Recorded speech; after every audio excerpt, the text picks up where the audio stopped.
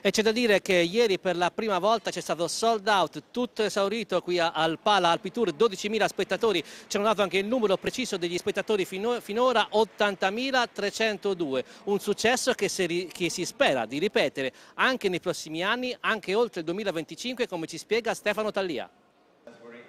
La partita, fuori dai campi da tennis e tra le scrivanie del governo dello sport, è già iniziata. Tra un anno sapremo dove si disputeranno le finals a partire dal 2026 e anche se la speranza che molti iniziano a cullare sul prolungamento dell'esperienza torinese potrà avverarsi.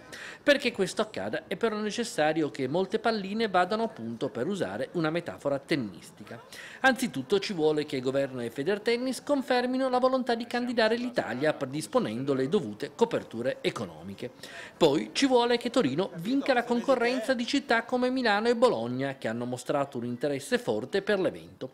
E infine è necessario convincere l'ATP che potrebbe essere tentata dalle sirene di piazze internazionali più ricche da un punto di vista economico. Tutti elementi che inducono il sindaco russo a guardare con interesse ma anche con cautela alla possibilità del prolungamento. Finiamo bene questa edizione che sta andando davvero alla grande, eh, siamo molto contenti dello sforzo organizzativo che abbiamo messo in campo, mi sembra che le cose stiano andando bene, le persone sono molto contente, la città è piena di turisti. Certo, molto dipenderà anche dall'attrattività che il territorio saprà avere sugli sponsor.